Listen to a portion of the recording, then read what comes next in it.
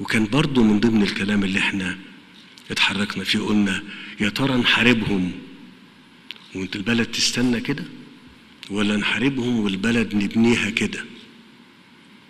فكانت ال كان ال القرار لا إحنا هنحاربهم وهنبني وهنشتغل وإحنا بنقاتل. ومحدش كتير بيعمل كده. وده كان من فضل ربنا علينا. ده كان من فضل ربنا علينا إن إحنا مشينا بالطريقة ديت. أنا عايز أقول لكم إن اللي اتحقق حتى لو أنتم شايفينه كتير هو قليل جدا من المستهدف والمطلوب. لكن عايز أقول لكم إن الظروف اللي بتمر على الدنيا واللي إحنا جزء منها بتقول إن المسار ده لو إحنا كنا بنفكر نعمله دلوقتي مش هكون مبالغ لو قلت لكم ان قد تكون التكلفة ضعف.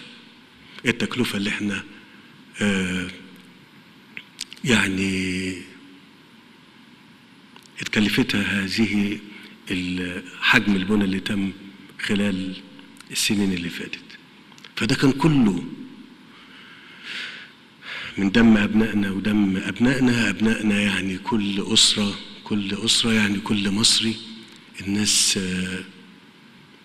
كانت بتقدم ومش شايفة غير إنها تقدم ولادها ومعدلات التقدم في في الجيش والشرطة لم تتوقف لحظة. في أصعب الأوقات في أصعب الأوقات وفي أكبر نسب خسائر تحققت لم يتوقف أبدا لا جندي ولا ضابط صف ولا ضابط. نفس المعدلات هي هي. ويمكن زادت. وأنا مش مبالغ لما بقول لكم كده. يمكن تكون زادت.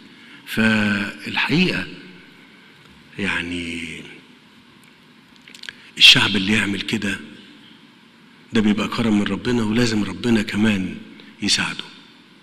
ف الحمد لله رب العالمين. الحمد لله